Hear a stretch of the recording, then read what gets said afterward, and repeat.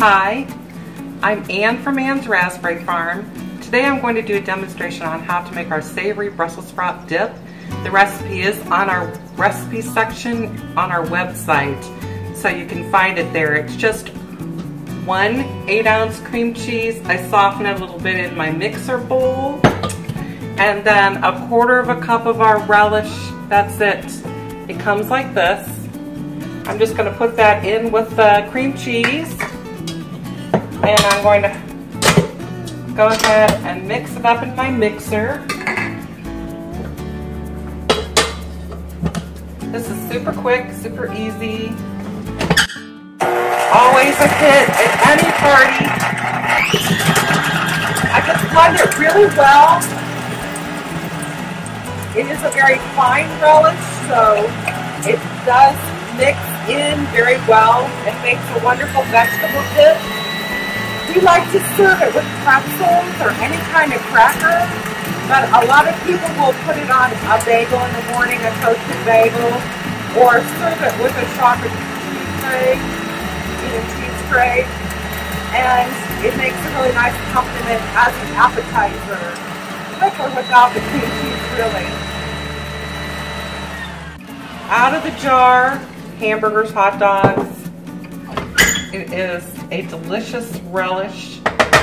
On the savory side, it's not a sweet relish. Okay, I'm to clean off my beater here.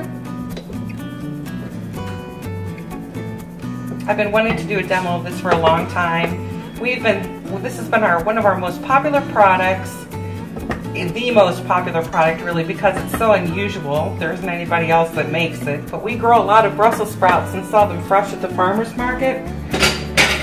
So I thought it would be a wonderful idea to make this relish and it has been a delicious option as a condiment. It kind of brings your grilling up to a gourmet level. Very nice. Got a little bit of tang. As I said before, it's savory on the, more on the savory side than on the sweet side. It does have uh, a variety of peppers, onions, garlic, spices, red wine vinegar, local honey, very, very clean ingredients, no additives of any kind. And then I just serve it like this on a lovely serving tray with your favorite cracker. I suggest something like a multi-grain or a Triscuit and then you're good to go. You can add other things on here if you'd like to. I have a lovely Hungarian hot pepper mustard. We'll often do a dish of that and then a dish of some jalapeno raspberry and serve that alongside our meat and cheese tray for an appetizer. So I thank you for coming by. If you have questions, you can always email us on our website at annsraspberryfarm at gmail.com. We love to answer questions, um, to help you use our products in a very nice way so that you'll really enjoy them. So thank you so much for coming by.